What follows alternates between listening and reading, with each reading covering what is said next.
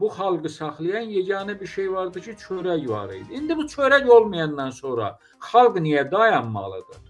Və xalq niyə meydanlara tökülüb onları bu çörəkdən e, məhrum edənlərdən hesab sormamalı?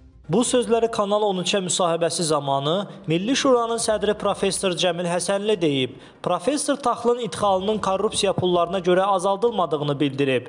Azərbaycan tarixən özünü taxıl ilə təmin edən ölkə olub. Necə olur ki, bu gün biz özümüzü taxıl ilə təmin edə bilmirik deyə Cəmil Həsənli əlavə edib. Azərbaycan niyə taxıl e, almalıdır xaricdən? Niyə taxıl e, istehsal etməlidir? E, e, e, idxal etməlidir. Azərbaycan tarixən özün taxılla təchiz edən respublika olub. Keçmiş SSR-də Rusiya Federasiyası, Ukrayna və Azərbaycan tarixən daha sonra Qazaxıstan da qoşuldu bu bu bu sıralamaya. Cəmməli, mənim yadımdadır, siz daha yaxşı bilirsiniz. 70-ci illərin sonları, 80-ci illərdə Cəlilabadın bütün taxıl zəmlərini üzümə çevirdilər o vaxtı. Sanki o vaxtdan başladı o taxıla qarşı savaş. Əlbəttə. Və ən böyük taxılçılıq rayonu idi Cəlilabad. O mən mənim indi də o mənzərə gözlərimin qabağındadır. O o dolu sümbüllər var idi ki, saralanda kəhrəba rəngində olurdu və o axşamın mehi onların saçını necə darayırdı və elə bil dəniz dalğalanırdı o o ə, ə, taxıl sahələrində. O o çörəyin ətrə, ətrindən də nə bilim bir 1 kilometr, 2 kilometrlikdən doymaq olmurdu o təndirdən çıxanda və bu günləri 20 ildir bunlar bəhanə edirlər ki, Azərbaycan çörəyi, taxılı çörək sənayesi üçün yararsızdır.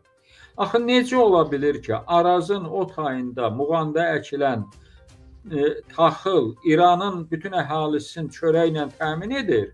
Amma Arazın bu tayında əkilən taxıl çörək üçün yararsızdır.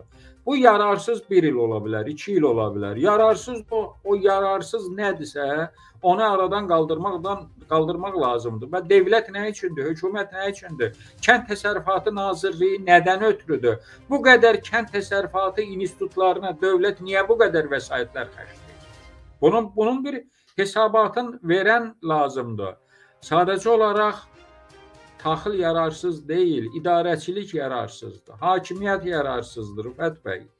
E, sadəcə idxalda böyük korrupsiya pulları olduğu üçün və bu idxal da bütövlükdə aşağı-yuxarı hakim ailənin əlində olduğu üçün bax bax diqqət yetir. Bu tərəfdən anons verirlər ki, pensiyalar, əmək haqqları 5-10 manat qalxacaq. O biri tərəfdən hələ insanların əllərinə almadığı o artımı qiymətləri qaldırmaqla, rüsumları qaldırmaqla, taxılın, çörəyin qiymətini qaldırmaqla adamların əlindən alırlar. Kimə məlum deyil ki, bu taxıl monopoliyası Əliyev ailəsinin əlində deyil. Hamı bilir ki, bu Əliyev ailə, ailəsinin əlindədir də. Yəni bunlar xalqı bu formada soyurlar. Bunlar xalqı bu formada talayırlar. Bunlar xalqı aclıqla imtahana çəkirlər və indi yəni bunlar nəzərə almırlar ki, bu xalqın e, yeganə deməli e, bu xalqı saxlayan yeganə bir şey vardı ki, çörək var idi. İndi bu çörək olmayandan sonra xalq niyə dayanmalıdır? Və xalq niyə meydanlara tökülüb onları bu çörəkdən e, məhrum edənlərdən hesab sormamalı?